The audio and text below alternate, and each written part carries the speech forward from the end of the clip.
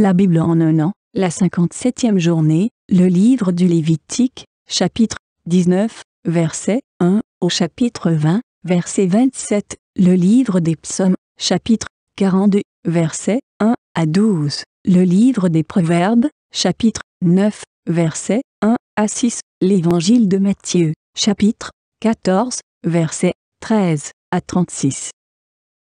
Le Lévitique, chapitre 19 L'Éternel parla à Moïse et dit Parle à toute l'assemblée des enfants d'Israël et tu leur diras Soyez saints, car je suis saint, moi, l'Éternel, votre Dieu.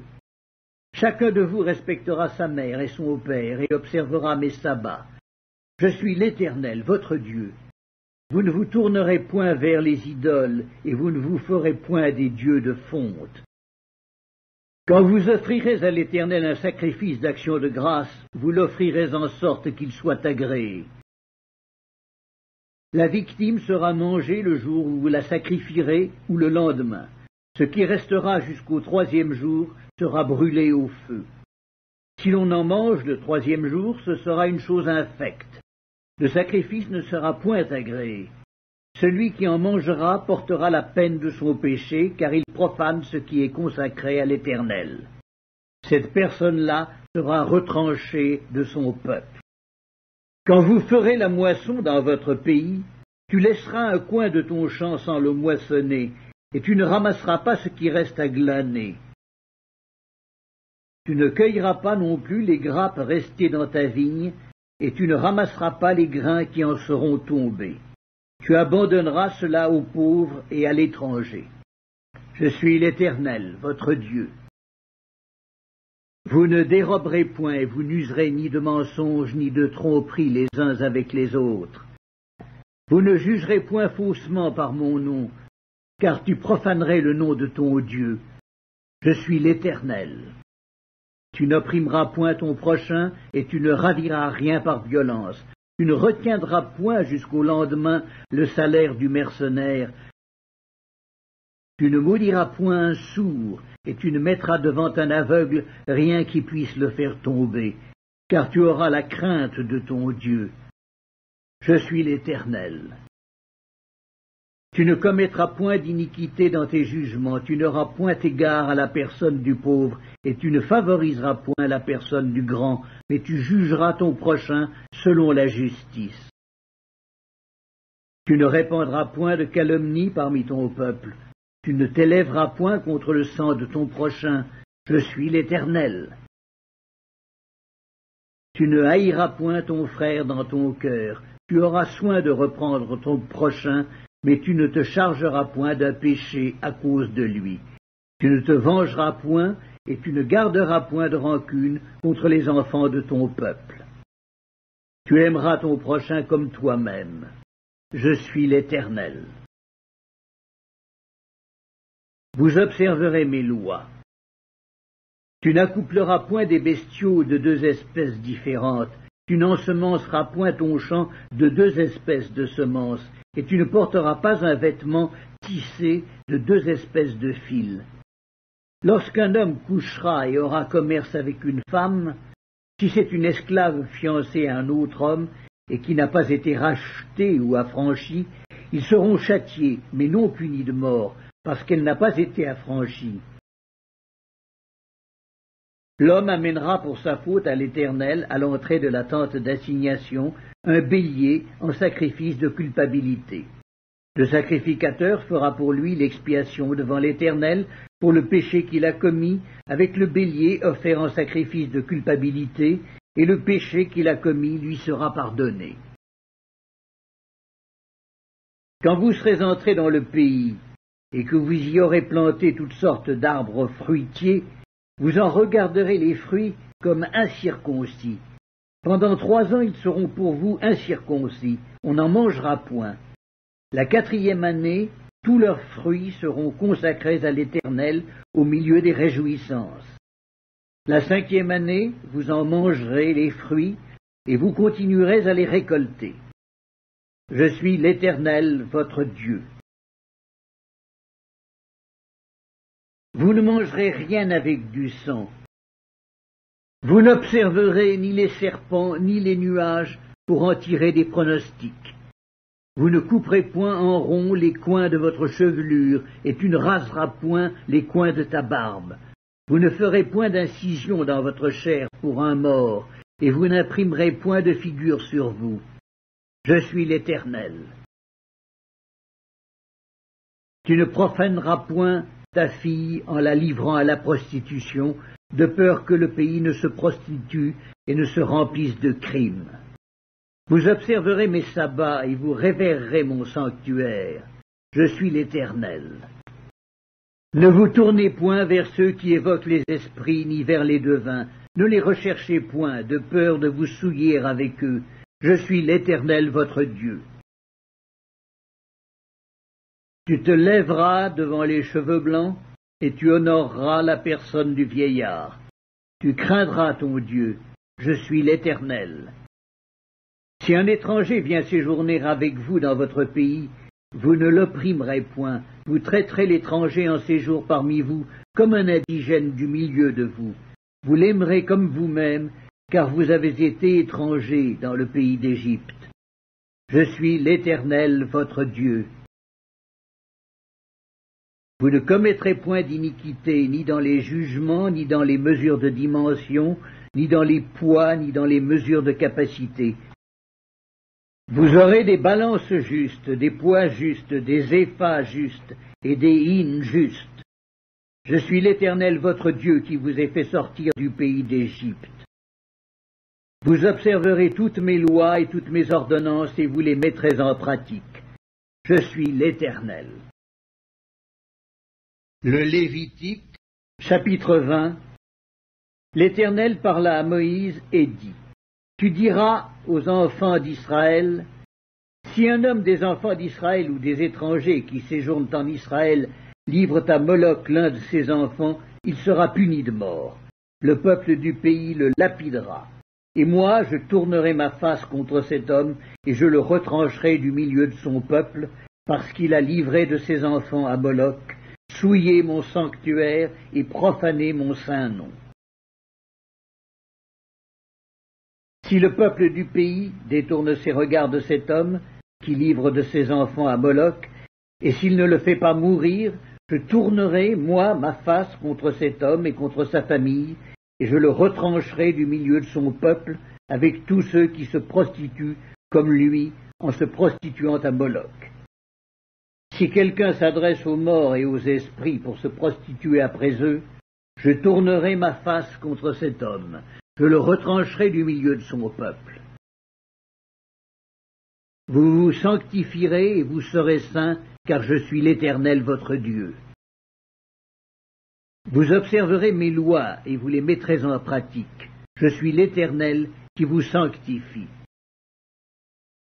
Si un homme quelconque maudit son père ou sa mère, il sera puni de mort. Il a maudit son père ou sa mère. Son sang retombera sur lui.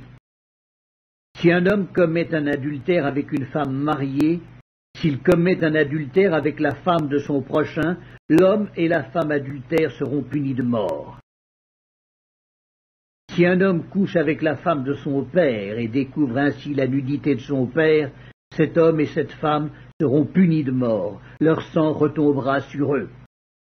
Si un homme couche avec sa belle-fille, ils seront tous deux punis de mort. Ils ont fait une confusion, leur sang retombera sur eux.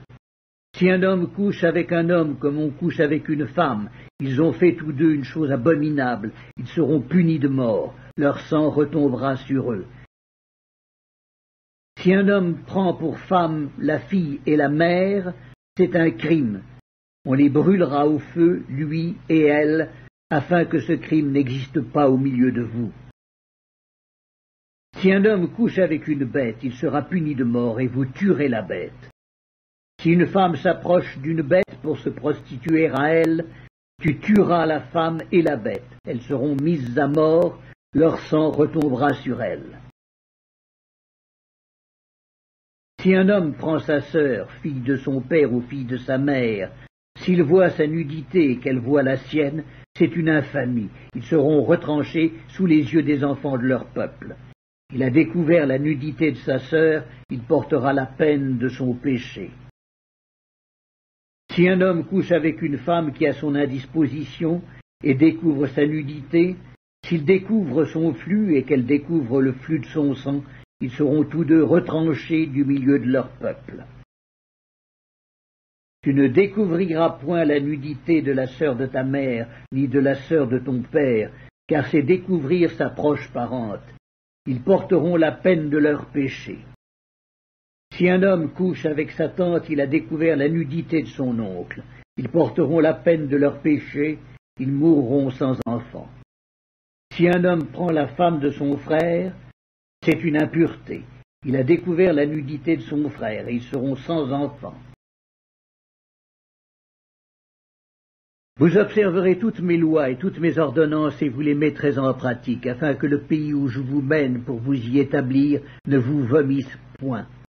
Vous ne suivrez point les usages des nations que je vais chasser devant vous, car elles ont fait toutes ces choses, et je les ai en abomination. Je vous ai dit, c'est vous qui posséderez leur pays, je vous en donnerai la possession. C'est un pays où coule le lait et le miel. Je suis l'Éternel votre Dieu qui vous ai séparé des peuples. Vous observerez la distinction entre les animaux purs et impurs, entre les oiseaux purs et impurs, afin de ne pas rendre vos personnes abominables par des animaux, par des oiseaux, par tous les reptiles de la terre que je vous ai appris à distinguer comme impurs. Vous serez saints pour moi, car je suis saint, moi l'Éternel. Je vous ai séparés des peuples afin que vous soyez à moi. Si un homme ou une femme ont en eux l'esprit d'un mort ou un esprit de divination, ils seront punis de mort. On les lapidera, leur sang retombera sur eux. Psaume 42. Au chef des chantres, cantique des fils de Corée. Comme une biche soupire après des courants d'eau, ainsi mon âme soupire après toi, ô Dieu. Mon âme a soif de Dieu, du Dieu vivant. Quand irai-je et paraîtrai-je devant la face de Dieu? Mes larmes sont ma nourriture jour et nuit, pendant qu'on me dit sans cesse Où est ton Dieu? Je me rappelle avec effusion de cœur quand je marchais entouré de la foule et que je m'avançais à sa tête vers la maison de Dieu au milieu des cris de joie et des actions de grâce d'une multitude en fête. Pourquoi t'as battu mon âme et gémis-tu au-dedans de moi? Espère en Dieu, car je le louerai encore, il est mon salut et mon Dieu. Mon âme est abattue au-dedans de moi. Aussi, c'est à toi que je pense depuis le pays du Jourdain, depuis l'Hermon, depuis la montagne de Mitséar. Un flot appelle un autre flot au bruit de tes ondées. Toutes tes vagues et tous tes flots passent sur moi. Le jour, l'Éternel m'accordait sa grâce. La nuit, je chantais ses louanges.